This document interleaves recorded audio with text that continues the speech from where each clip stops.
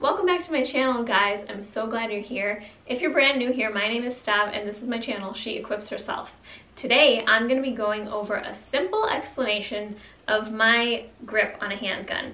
I won't go over revolver grip in this video, that is a little different and I can do that in another video if you guys want. But this video is going to be all about how to grip a semi-automatic handgun. I know that there are lots of different ways to grip a handgun, but I'm just going to show you how I do it.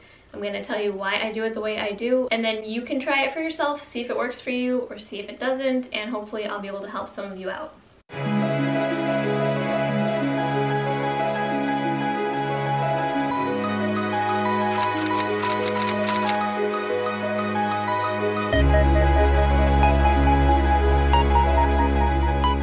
Before we start, I just want to say thank you for all of you who subscribed to my channel. I just recently hit 30,000 subscribers, which is unreal.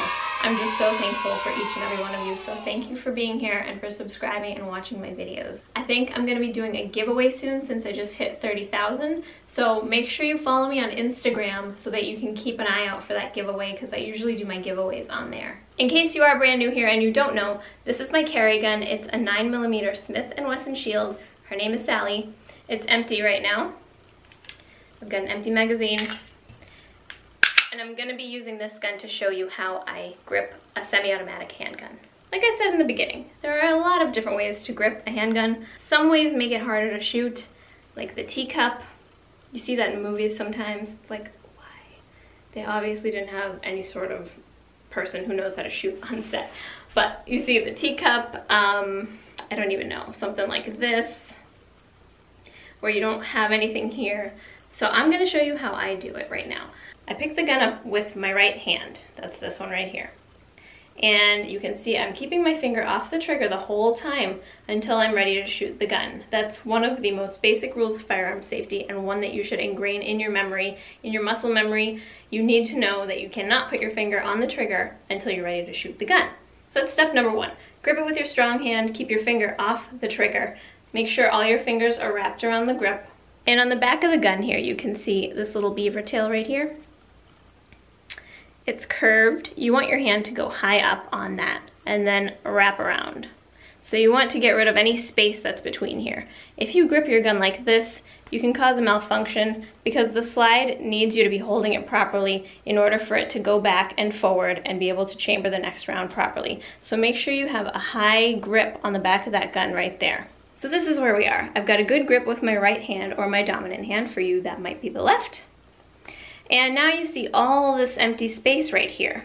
What's gonna happen if you don't fill in that space? As you're shooting, the gun's gonna want to move in whichever direction you're not providing any sort of resistance. So if there's a lot of space here, the recoil is gonna make the gun go like this. You want to cover any empty space here that you can with your other hand. So the way I do that is I take my left hand and all these four fingers are gonna wrap around the bottom where the grip is, like that. Not hanging down, not like this, all wrapped around the other fingers.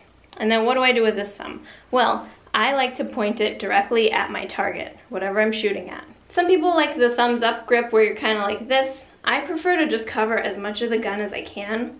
Also, when I'm pointing my thumb forward at my target like that and my index finger, if I point my thumb at anything in this room, like I've got a plant over there, so if I, if I point my thumb over there like that, if I point it over there, I'm pretty good at aiming with my thumb. On my gun and aimed at my target, just like my index finger, then it makes me a little bit more accurate. So this is my grip right here. You're filling in as much space as you can on the side of your gun. And when I started shooting, it made me nervous because I thought that when the slide goes back and forth that it would hurt my finger if it was up on the slide, but it's not. It just slides right off your thumb. So if you look at it from the top, it looks like this. My index finger is pointed straight towards the target, and so is my thumb, and my right thumb, or my dominant thumb, is resting on top of the non-dominant thumb. And that's a pretty solid grip right there. You want to squeeze the gun tight, but not tight enough that you're shaking. Just keep a nice strong grip on that gun, like that, and it'll make you a bit more accurate. Something you might notice about my gun is that I've put grip tape on it here. That's just like skateboard tape that you can cut and tape to the side of your gun. It just allows for a little more friction so that when you're holding the gun, it doesn't slide or move around or anything. I also have a piece up here because that's where my thumb rests. One word of caution, and I've seen this happen before where people grip the gun improperly and get hurt. The gun has a slide, so the slide comes back and forth every time you fire the gun. It goes back and forth and it does it really, really fast. If you have your hand down here in the back, it's gonna hurt. So if you grip the gun improperly, like instead of like this, you put your thumb, let me just show you. So instead of like this, if you put your thumb back here, when that slide comes back, it's gonna hurt and it's gonna cut your finger or your thumb and it's gonna hurt really bad and you're not gonna wanna do that again, which is a good lesson, but I want to prevent you guys from getting hurt. So make sure you're keeping your thumbs on the side and not back here because you'll get something called slide bite and it sucks. Hi guys, I was just editing this video and I realized that I forgot something pretty important. So here I am again, I've obviously changed, it's later on in the day, but I just wanted to talk to you about your arm when it comes to grip. So I'm just lowering you a bit so you can see my whole arm. Jeez, I'm short, hold on. Let's see, I've lowered you a little bit so you can see my arm. Okay, so when you grip a gun, you want there to be a straight line from the slide to your wrist, to your elbow, and then up to your shoulder. So when I got my first gun, it didn't fit me properly. And what I had to do in order to reach the trigger was turn it like that. So as you can see now, it's not a straight line. The slide's going back this way, and my arm's over here. So if that happens to you, you might have a gun that's not properly fit for your hand. And what that does is that when I shoot the gun, the recoil goes back here and my arm's not there to support it. So when you grip a gun, it should be like this. There should be a straight line and you should still be able to reach the trigger with your index finger.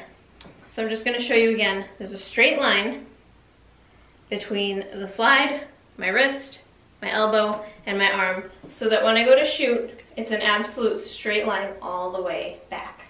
And that will help to handle the recoil because all that recoil is going through your arm rather than into nothing because you're gripping it improperly like that. See that angle?